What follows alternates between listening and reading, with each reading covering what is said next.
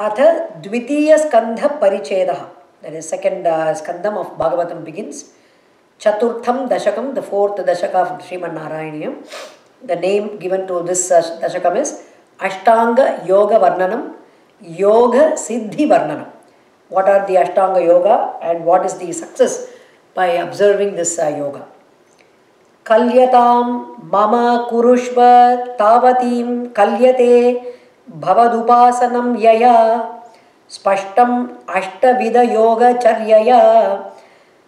पुष्ट्यासु तव तुष्टिमाप्नुयां ब्रह्मचर्य दृढतादिभिः यमैर् आप्लव आप्लवादिनियमैः पावि नियमैश्च पाविताः। कुर्महे दृढममी सुखासनं पङ्कजाद्यामपि वा भवत्पराः तारं मन्तरमनुचित्य अनुचित्य अनुचिन्त्य सततं प्राणवायुम् अभियम्य निर्मलाः। इन्द्रियाणि विषयात् अथापहृता स्महे भवदुपासनोन्मुखाः। अस्फुटे वपुषिते प्रयत्नतो धारयेम दिशन्नां मुहुर्मुहुः। तेन भक्तिरस मन्तरार्ध्राम् उद्वहेम भवदङ्घ्रिचिन्तकाः विस्फुटावयव भेदं सुन्दरं त्वद्वपुः सुचिरशीलनावशात् अश्रमं मनसि चिन्तयामहे ध्यानयोगनिरतास्त्वदाश्रयाः। ध्यायतां सकलमूर्तिम् ईदृशीम् उन्मिषन् मधुरताहृतात्मनां सान्द्रमोद रसरूपमा रूपमान्तरं ब्रह्मरूपमयि तेव भासते। तत्समास्वदनस्वरूपिणीं स्थितिं त्वत्समाधिम् अयि विश्वनायक आश्रिताः पुनरतः परिच्युता वार वारभेमहि परिच्युता वारभेमहि ते धारणादिकम्।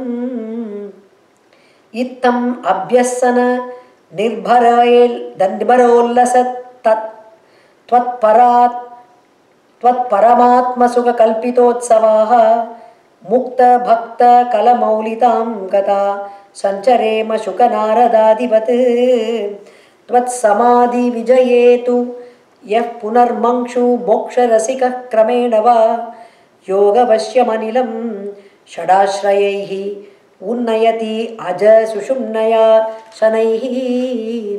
लिङ्गदेहमपि संत्यजन् अथो लीयते त्वयि परे निराग्रहः।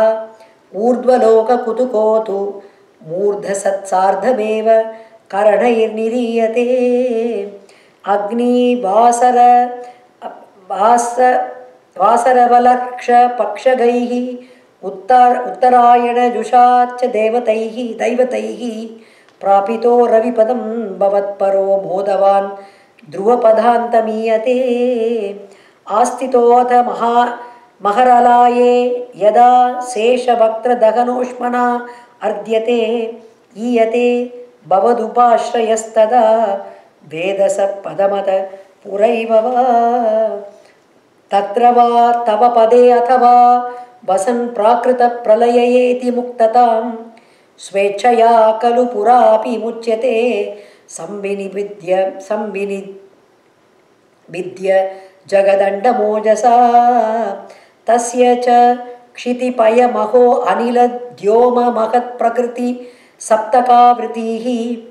तत्तद् आत्मकतया विशन् सुखीयाति ते पदनमा पदमनावृतं विभो अर्चित् अर्चिरादिगतिमीदृशं व्रजन् विच्युतिं न भजते जगत्पते सचिदात्मकभवद्गुणोदयानुचरन्तम् अनिलेश पाहि माम्। इति श्रीमन्नारायणीये अष्टाङ्गयोगवर्णनं योगसिद्धिवर्णनं चेति सपञ्चकं चतुर्थं दशकं समाप्तं so Bhattathiri has composed fifteen shlokas So that is what it says Sapanchakam. Another five slokas are added in this. This is the fourth Dashaka.